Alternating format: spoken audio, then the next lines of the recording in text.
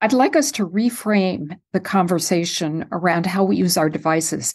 Instead of using them to maximize our productivity and, and packing in as much as we can in the day, I want us to think about how we can achieve well being, get our work done, but maintain our well being.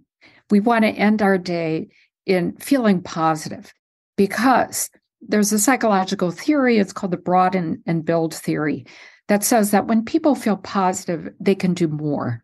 We have a wider set of actions that we can take, we have a better choice of things we can do, we can generate more ideas. If we're positive, we will be productive along the way, but let's put the well being first, mm. first and foremost, and the productivity will happen.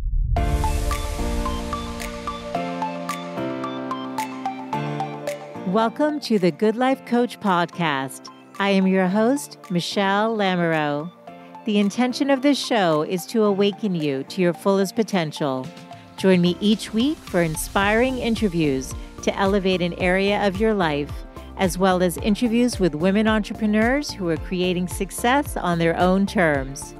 Each episode provides actionable tips to guide you to design a life you love. Hey, friends, it's Michele Lamoureux, and welcome back to the Good Life Coach podcast. Today, you're going to be learning all about attention span, or what feels more like diminishing attention span. Joining us today is Dr. Gloria Mark, Chancellor's Professor of Informatics at the University of California, Irvine. She's the author of Attention Span, a groundbreaking way to restore balance, happiness, and productivity, which presents the science of attention plus solutions for regaining focus with our personal technologies.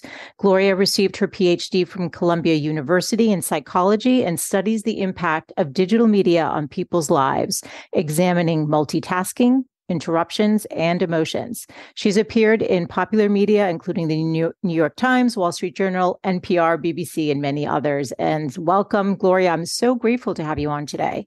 Thank you so much for having me. Well, I think we all are relating to this feeling like, what's happening with my brain? Why can't I focus? I feel like my level of focus is is shifting and we don't know why but you do you've been studying this so i'd love to Yeah. So I'd love to begin with what led you to begin a 20 plus year journey to study attention and our distraction from our devices.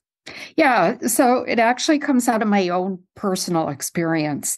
Um, so I had been living and working in Germany. I, I was working at a research institute where uh, I basically was responsible for one project, sometimes two projects. Then I came back to the US with my husband in the year 2000 and entered the world of academia. And all of a sudden, I had to deal with multiple research projects, plus teaching, writing grants, mentoring students, uh, serving on committees, doing all kinds of service work, reviewing papers. And I just found my attention, uh, you know, shifting like mad. Now, the the the work changed, the country changed, the culture changed. Yeah. A lot of things had changed. Uh, at the same time, the digital age was just really taking off. This was the year 2000. Yes. Um, and I started to talk to other people to find out it, is it just me? Do other people have this experience? Of people in other professions as well were reporting having trouble focusing their attention.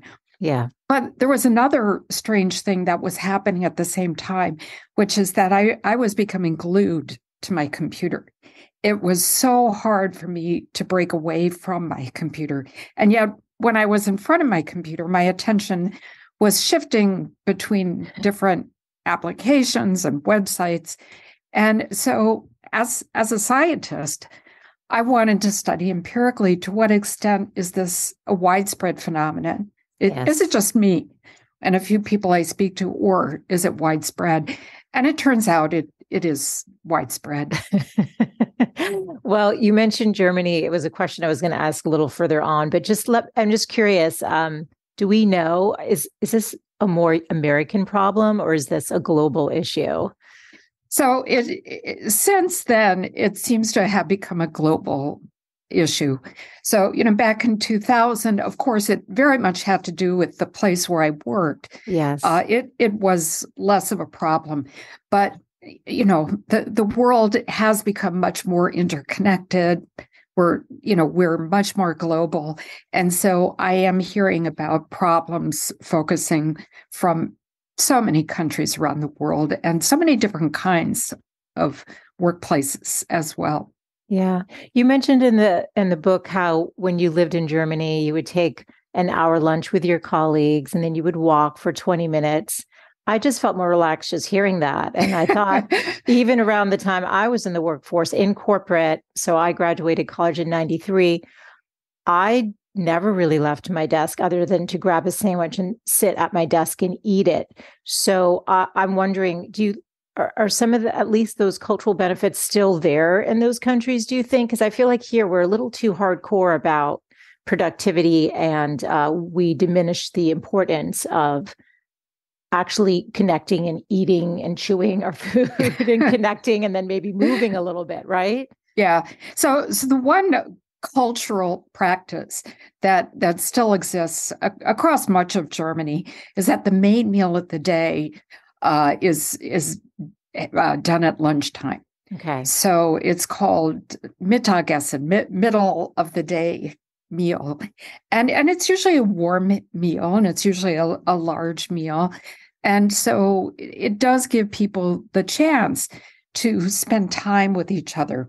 Yeah. Now, you know, I can't say that every workplace still has people, you know, going in groups out to lunch, uh, but you you still have this practice, and of course, in the US, uh, and I learned this very quickly in the year 2000 when I came, yeah. lunch is more of a quick takeaway. Uh, you know, a sandwich, a salad, and um, you know, sometimes you might make an appointment to eat with someone else. Yes. But it's, you know, for the most part, pretty much a, a, a lone activity. Yeah, which I think I feel like, and and uh, yeah, it feels like it's a bigger issue here, just with our cultural norms, right? Um, I want to read something from your book, from the introduction, because I think people are going to relate to this. I mean, there were a couple different examples, but you start, you open. Imagining, o- imagine opening your laptop at the beginning of the day. Right away, you are faced with an onslaught of emails. You glance over them, a number of them demanding some thought, and you begin to answer them, realizing each takes quite a bit of effort. You then switch to work on a project that you have to finish today, take some phone calls, but then you receive a, no- a notification of another email from your supervisor. You jump to that right away to communicate implicitly to her that you are doing your job. But then your calendar notifies you of your next Zoom meeting. It's only 10 a.m., but you are already starting to feel fatigued. By three o'clock, you can barely think about that project coming due.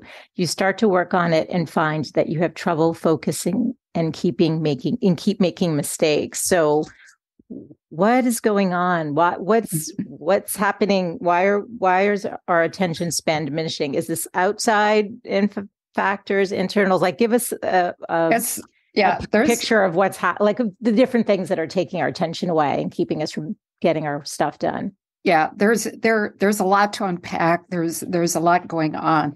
So the the scenario that you read is pointing out the fact that people are multitasking switching their attention among you know so many different tasks and yeah. uh, and uh, devices even um, and getting exhausted.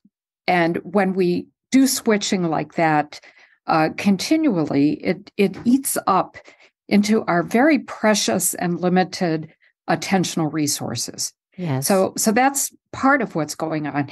And it also turns out that when we're exhausted, we have a harder time uh, filtering out distractions. Mm-hmm. So we're we're much more susceptible to distractions when we're tired. And so we get into this cycle of getting ourselves more and more exhausted. And of course, we're you know, being uh, our attention is switching to take care of all kinds of distractions, emails and phone calls and text chimes and Slack. And then that eats into these mental resources that we have. And then we become, it becomes even harder to pay attention. So it's it's a, a vicious cycle that we get ourselves into. And you know, there there is so much going on. For example, we are about as likely to self-interrupt as to be interrupted by something external. Yes. So, you know, we we tend to blame all these notifications and ads and you know, all these things are distracting us. But actually half the time we distract ourselves right? It could be we have an urge to check email. We have a memory that we forgot to do something. You know, we remember we have to make a phone call. There was a task that was unfinished. We have to get back to. So all these things go on in our minds as well that uh, that pull us away from from our work. Yeah, it's interesting because I definitely blame the tech, but when I read the part about self-interrupting and your example, I remember I was I laughed out loud because it felt like me. I think people can relate to that. Um, your research showed that in 2004, our attention span was two and a half minutes and is now 47 seconds. Can you delve into this a little bit? Just unpack this for us. Is that screen time, and what what does this mean? Yeah. Like, what are the implications of this? Yeah. So, first of all, let me emphasize that we measured this empirically. So, we, we didn't ask self reports, how long do you think you're on a screen? We, we actually measured this. So, back in 2004, we used to actually shadow people in their offices with stopwatches. We, we would click stopwatches, very labor intensive. But you know, every time someone would switch their attention, click on the stopwatch. So we we had that recorded. Uh, fortunately, the invention of computer logging techniques came along. So we, you know, this was saved us a lot of labor, but we yes. could automatically and unobtrusively measure the length of time that people were on any screen before switching. Yeah. So uh, you know, what changed? Well, social media came along. Yeah. Right. 2003, Facebook was invented. Uh, you know, Twitter came uh, a few years after that. In 2007, the smartphone, the iPhone was invented. So every year there have been more and more uh, uh, sources of distraction that have come along, and, yes. and of course, more devices as well. So, you know, so that's a big part of it. Now, the the the 40 we find in the last 5 or 6 years that attention averages about 47 seconds, right? And that's an yes. average. Okay. That means, you know, sometimes it's higher, it also means sometimes it's lower. If if we look at the the midpoint of yes. our observations, the very midpoint was 40 seconds. And what this means is that half of all the observations show that people's attention span is 40 seconds or less, wow. right? Less than 40 seconds. So we spend so much of our time when we're on our computers and our phones basically switching our attention around and you know i i was searching for a word to describe this it was dynamic and i came up with the word kinetic right? Kinetic attention, because kinetic refers to, you know, jumping around and, and being dynamic. And it just seemed like a really good description yes. of what was going on. So, you know, when we use our computers and phones, we're experiencing kinetic attention. And I, I think that's probably the best way to describe it. And I'll also mention that other people have replicated results in the, in the last uh, five six years, and they find you know 44 seconds, 50 seconds, but it's you know all around the same amount of time, averaging 47 seconds. And are we rebounding, or are we taking time to get back on track? I mean, that's that's real. That's not even a full minute. That's scary. It it is. Um, so I'm I'm often asked, are we going to continue to shorten our attention yes. spans? Uh, I, you know, I'm an empiricist. I, I study. I, I want to see what the data shows. Uh, I mean, my own sense is that I don't think we can shorten our attention spans much more. it's they're pretty short already. And we already have, you know, I, I almost feel like we're near saturation with the number of different websites and social media that that people can pay attention to. So I don't think they will become much shorter, but I can't say until I actually measure them. Right. And then what about getting back into our work? So is it that, for example, Gloria, I'm on an uh in a document, I'm writing, and then I hear a ping or even or whatever, I self interrupt for some, whatever reason because I thought of something else while I was looking at a word.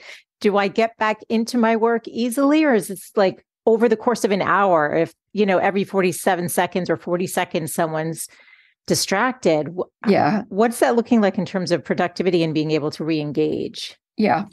So um you know when we were looking at the data we thought maybe it's not so bad to right. shift our attention so fast if you're working on the same project. Yes. So if i'm writing a paper and i'm switching from let's say email to uh, talking on the phone with someone to reading an article and it's all the same project, maybe that's not so bad. So, how often do people actually switch projects? Yes. Right. So, we find that people switch projects about every 10 and a half minutes, uh, which is still. pretty short right and and remember if you, even if you're working on a project you're still switching around to different different things yes but if we're interrupted from a project, whether it's by ourselves or by something external to us, it takes about 25 and a half minutes to get back to that original project. Now, what are we doing in those 25 and a half minutes? We're not staring into space. Right. What we do is, on average, this is the pattern. You, yeah. we then switch to work on another project. and then we switch to another one. And then we start to work on another one and then we go back to the first one. So 25 and a half minutes have gone by. We're being distracted once, twice, starting a third time. So it becomes really hard to reorient back to that original project. And and we lose efficiency, right? There, mm-hmm. there's a switch cost every time we're switching attention, even when we're switching between say my writing an article and looking at email even if it's related right. the article there's still a switch cost. The the time and the effort that it takes to switch to something else and get back on track. Oh my gosh this is so fascinating. Okay tell us what you were you were talking in the book about different attention types that you've discovered and rhythms in our attention. Can we unpack this a bit too? Sure. So you know there's this um, this narrative that there's two states of attention that we're either focused or unfocused, right? Yeah. The, these two states. And it's a lot more nuanced than that. Uh, so, you know, when I was studying attention, it occurred to me that sometimes people can be very engaged in something and, and very challenged. Like if I'm trying to read some difficult material. It really requires a lot of mental effort. But other times I might be watching YouTube and I'm very engaged, not at all challenged. Yes. Or when a person plays solitaire, uh, you know, can be very engaging, but not at all challenged. Yes. And so what we did was we asked people in a workplace, we we gave them these probes that they could answer within a few seconds. And we probed them throughout the day and asked them, you know, for the thing you just did at this moment, how engaged were you and how challenged were you? And we collected these observations over the course of a day. We did it for uh, multiple days for multiple people. And we find that uh, there are different attentional states. So if a person is uh, engaged and challenged, we call that a state of focus okay. right? It's using some mental effort. If people are engaged, not at all challenged, like playing solitaire, we call that rote attention. That's the, the label we give.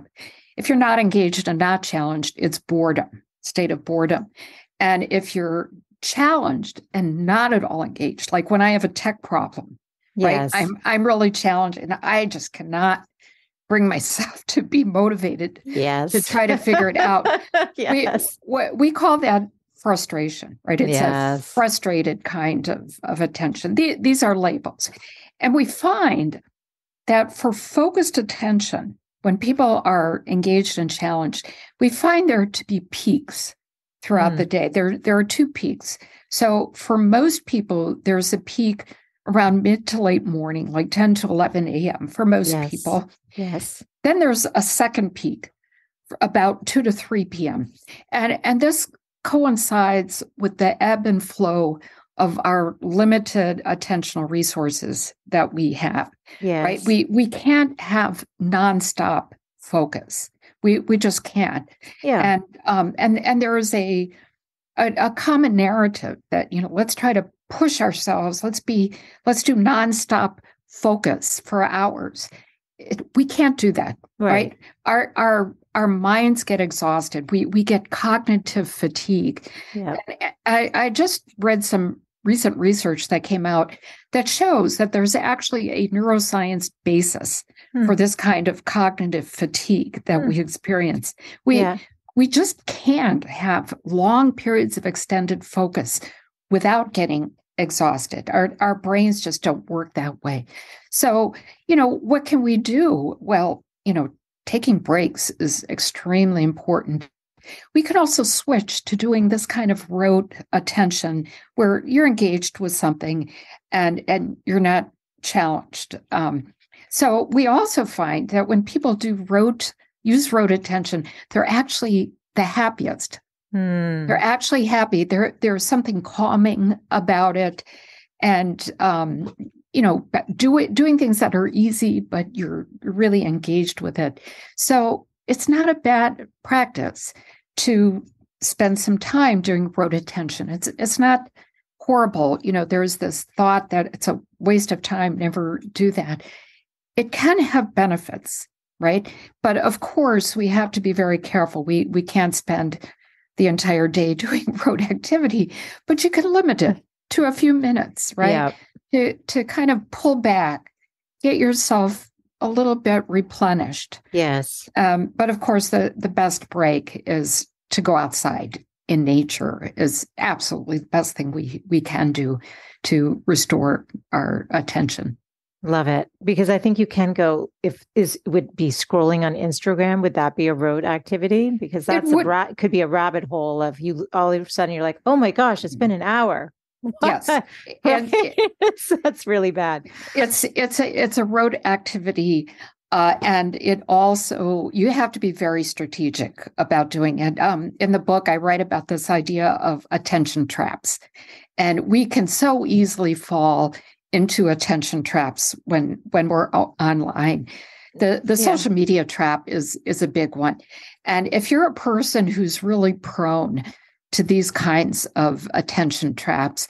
Um, you, you can't just indiscriminately go on social media and expect that it's it's going to be helpful. So you know, set a timer or uh, do it like if you just came out of a really difficult meeting and you've got a few minutes before your next meeting. Hopefully, there's a transition.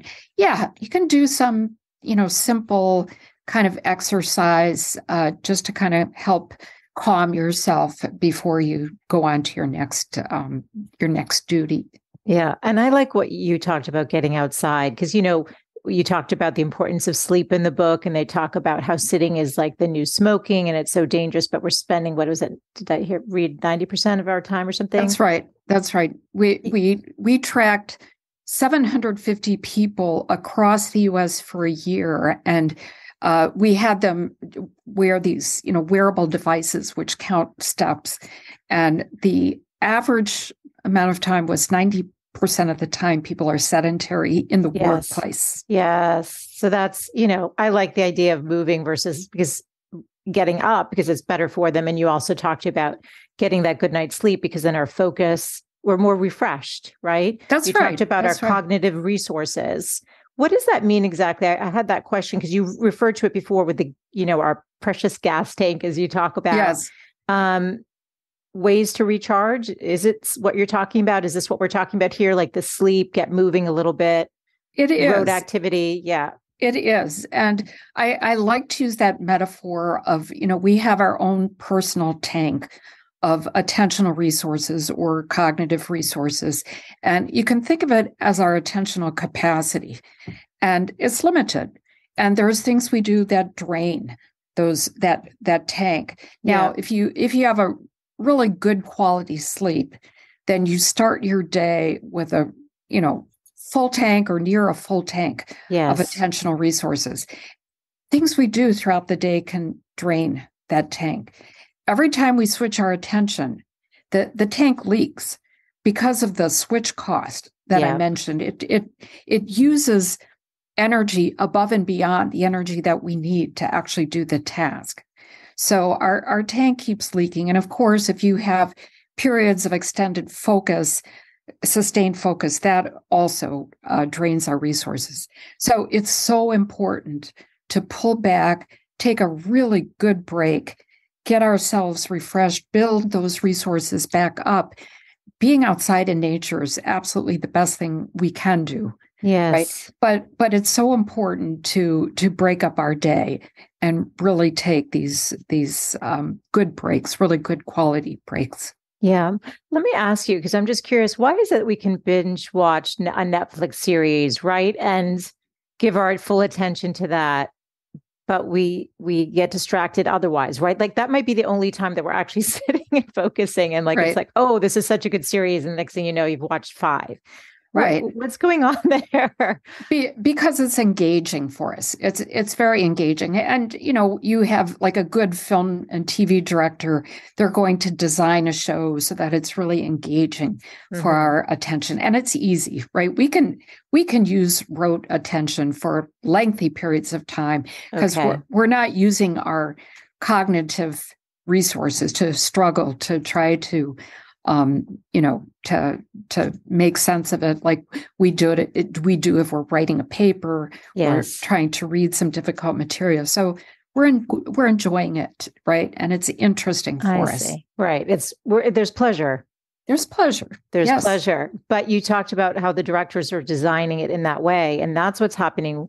But in and I think in a negative way with the social media, where where it's designed to keep you addicted to it and then yes. there was the example you gave in the book, which made me laugh. Was it the boots that kept popping up in your email and everywhere because the devices are also listening and then trying to sell us stuff?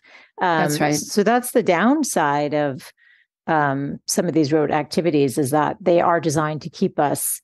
And then for I always worry about the younger, or maybe even who knows how well, who, yeah. depending on your level of resilience or your need for external validation, it could be damaging, right?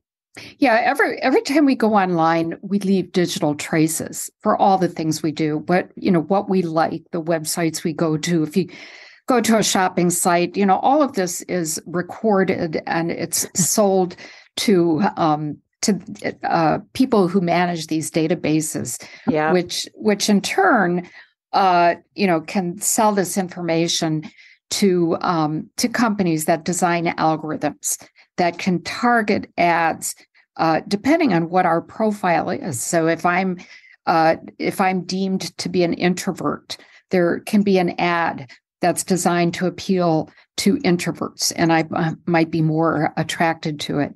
So wow. yes, our uh, our attention is monetized, and you know that's something that we have to be very aware of and and realize and of course one of the most basic things you can do is use ad blockers turn off notifications.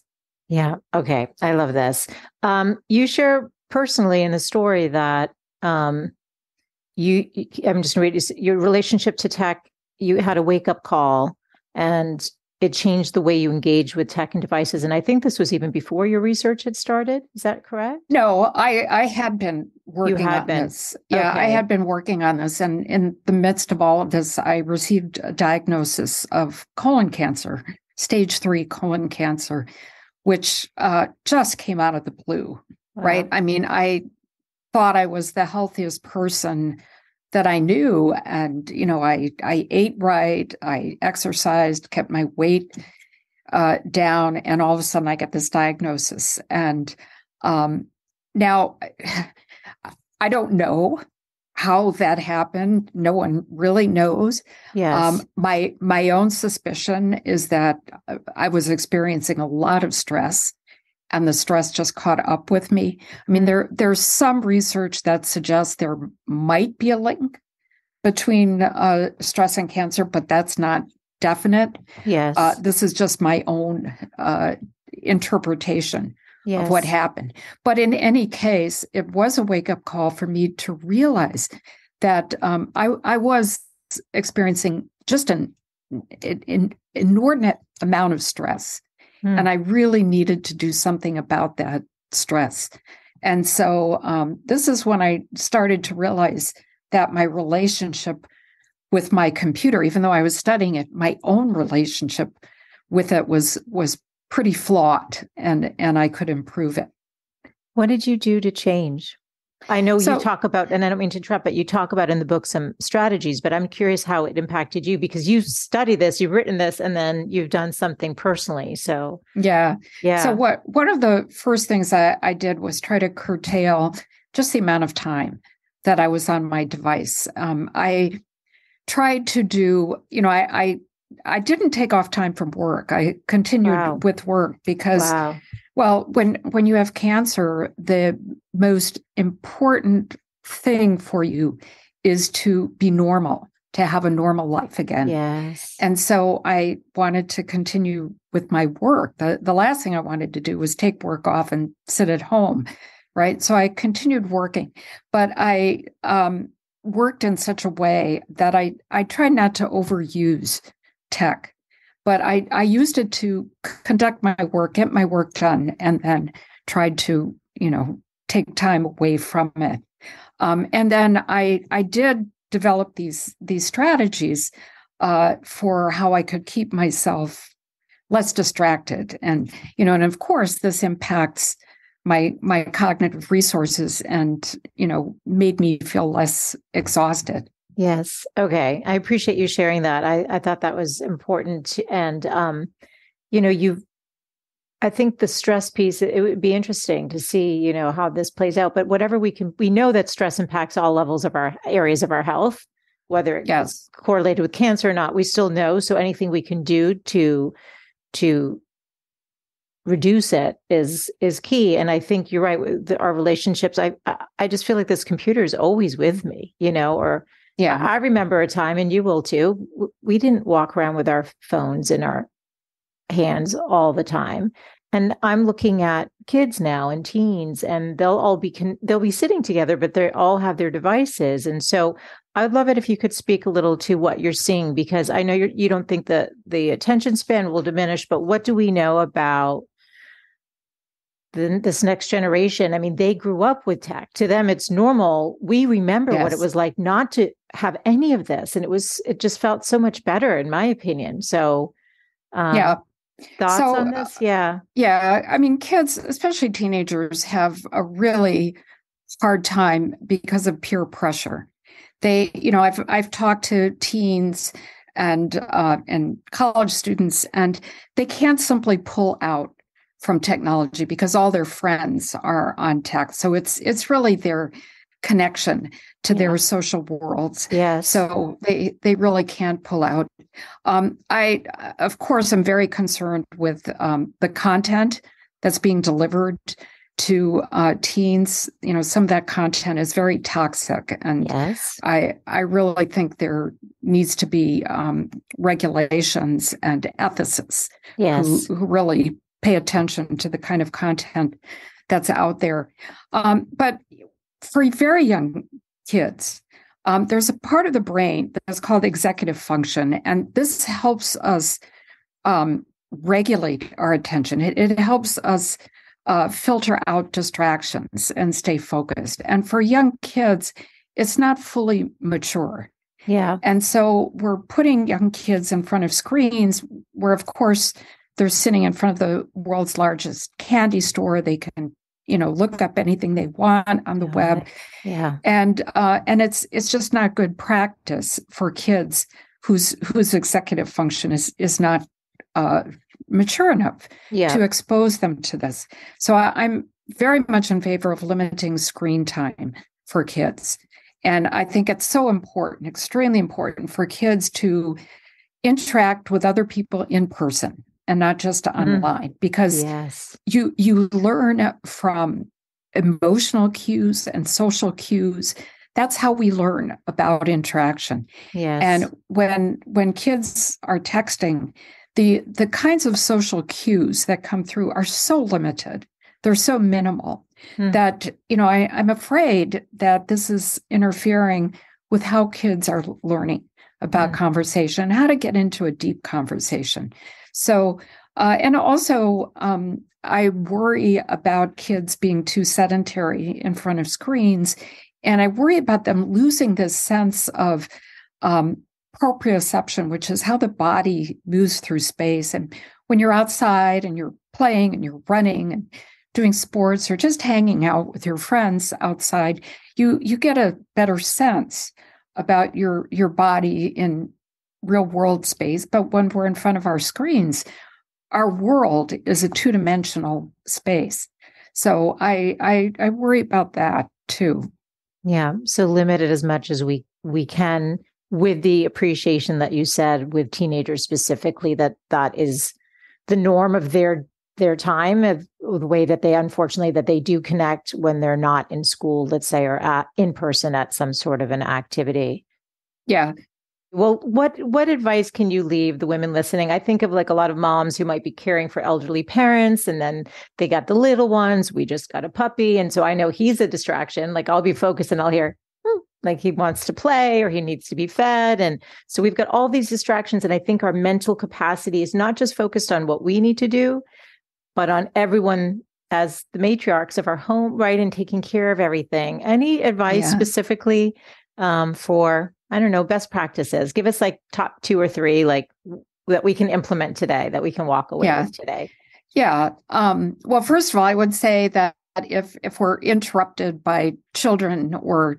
aging parents that's that's not a bad thing right it's it's yes. very important to give them our attention mm. it's i'm i'm more concerned about being interrupted by an email notification or text chime or interrupted by ourselves to to look at social media or news um, so there there are things that that i practice that have really helped me um, so during the pandemic i took a course in mindfulness, mm-hmm. mindfulness based stress reduction. And I, am sure a lot of the listeners uh, are familiar with this. And it occurred to me that I could take some of those ideas from mindfulness and I can apply them to my when, when I use my uh, devices. And so I use this idea that I call meta awareness, practicing meta awareness, which means being aware of what I'm doing as it's unfolding, right? So, in the same way that mindfulness teaches you to stay in the present, when I'm on my device, you know, keeps me focused on the present. And when I have an urge to switch screens, when I have an urge to go to social media, I probe myself. And I've learned to probe myself and to ask myself and to reflect why do I need to switch? Why why do I have to, you know, check news right now? right. It's it's usually because I'm bored or I'm procrastinating. Mm. But once I mm. recognize that, right, I can do something about it. So the the key thing is to take these unconscious actions that we do and to raise them to a conscious awareness. So, you know, picking up our, our phones is an unconscious action. And we have to become more conscious, and then we can be intentional, and then we can get a, a, grip on ourselves and say, I don't need to look at my phone right now. Yes. Right. Or if I'm bored, what do I need to do to get this done? Right. Uh, so another kind of practice is what I call forethought. And that means imagining how our current actions will impact ourselves later in the day. Yes. And I think that the best time frame is in the evening. And so if I have a deadline, but I'm really tempted to just go on social media because it's fun, right? I I imagine what my day, what what is it going to be like at 7 p.m. or at 10 p.m. And I create this visualization. I, I see myself on my couch uh, maybe drinking a glass of wine, relaxing, watching my favorite show. Uh, and that's enough to keep me back on track, right? I want to feel rewarded. I want to feel like, wow, I've accomplished what I set out to do. And that imagining my future self in that position of feeling rewarded and fulfilled is enough to motivate me to stay on track. I love that. I love that. You can get the dopamine, is it, or serotonin hit from that instead of likes on your post or something like that. You're, yeah, I love that so much. Um, Gloria, I'm curious about the role of goal setting as it relates to attention span and all of that. Could you speak to this a bit? Yeah, goals are extremely important. So, attention is goal directed. So, depending on what our goal is, that's where we focus our attention. So, if our goal is to finish this report, that's where we pay our attention. When our goals slip and suddenly our goal becomes, uh, you know, I want to check social media, then that's where our attention goes. So, it's so important to keep goals in mind. I, I did a study with colleagues at Microsoft Research, and we had a very simple conversational agent, a conversational bot that asks people two questions at the beginning of the day. Number one, uh, how, how, what what do you want to accomplish today? What task do you want to accomplish? The second question is how do you want to feel today? So we had a task goal and an emotional goal, wow. and it was successful for pe- keeping people on track but we also discovered it didn't last very long. And that's because goals are dynamic. We have to constantly remind ourselves of our goals. We can't just do it once in the morning and forget about it. So we have to keep it, keep these, um, the thinking about goals very active in our minds. How do we do it? You know, write it on a post it note, jot it down. Uh, when you take a break, use it as an opportunity to remind you of your goals. But the second thing is to have an emotional goal as well. Mm. How do hmm. I want to end my day? What kind of emotion do I want to experience? Mm. And, you know, should be that we want to feel positive or we want to feel happy. We want to feel rewarded. And having that as a goal uh, helps and enhance our attention, right? It, it helps keep us on our task goal as well. I love it. It directs our, our intention Yes. Right. And keeps yes. us on task so that we're less likely maybe to pick up that phone and aimlessly scroll. Yes. Perfect. Um, is there anything I didn't ask you? I know we covered a lot today that you want to make sure you leave the women listening with, you know, yeah. based on your research, please. I so a, a couple of things. So I one of the main points that I'm I'm trying to convey is I'd like us to reframe the conversation around how we use our devices. Instead of using them to maximize our productivity and, and packing in as much as we can in the day, I want us to think about how we can achieve well being, get our work done, but maintain our well being. We want to end our day in feeling positive because there's a there's a psychological theory it's called the broaden and build theory that says that when people feel positive they can do more. We have a wider set of actions that we can take. We have a better choice of things we can do. We can generate more ideas. Um, if we're positive we will be productive along the way but let's put the well-being first mm. first and foremost and the productivity will happen. And related to that is this idea, again, going back to instead of just packing our day in with as much as possible, because we have this need, you know, we're we're driven by our culture to be as so-called productive as possible. Yes. Let's let's think about designing our day in such a way to achieve this well-being. And designing our day means intentionally thinking about those times in the day when we can pull back and restore our attentional resources. Um, there's a Japanese expression called yohaku no bi, which refers to the beauty of empty space. Mm. And what this means is that let's give importance to time during the day when we can pull back, we can contemplate, meditate, go outside, take a walk, or even do some kind of rote activity. But whatever we do to replenish ourselves is as important as the actual work we're doing. And so I, I want us to break away from this culture of packing in, let's do, you know, 11 to 12, we're doing this task, 12 to 1, this meeting, 1 to 2, this meeting, no transition between. I want us to think about intentionally designing in periods of breaks so that we can replenish, so that when we end our day, we're, we're not exhausted, we feel positive, because there are carryover effects. The stress we end our day with is the stress we bring home at mm-hmm. night. And yes. let's not do that. That's it's not good for our home life and it, it's not good for for us experiencing chronic stress like that. Beautiful beautiful place to end and a nice thing to like this is what, what we're going to walk away with as we're um, listening to this interview. Where do you like people to find you online? Where is a great place to have them connect learn more about you your book? Yeah so you could go to my website which is www.gloriamark.com mm-hmm. so it's all one word gloria mark. You can learn more about the book you can learn more about me. You can sign up for my newsletter.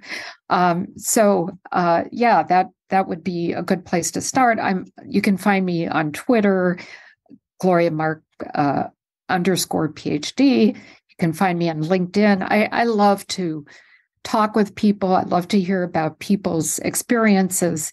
So you know, I'm I'm pretty open to having people contact me. Oh, thank you so much. Well, all of the show notes for today will be over at thegoodlifecoach.com with all of the resources uh, linked to Dr. Mark's book and her website and everything that you just referenced.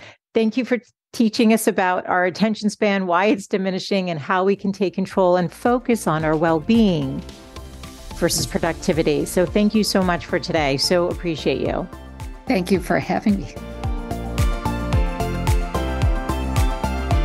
Thanks so much for tuning in today. I hope you gained some new information or inspiration for your life. That is that the essence of this show is to really wake up to what's possible for you, to reclaim your beautiful voice and to really learn to love and prioritize yourself. So, if you gained any value from any of the conversations you've tuned into, make sure to subscribe on your favorite podcast player. You can do that right now on your phone.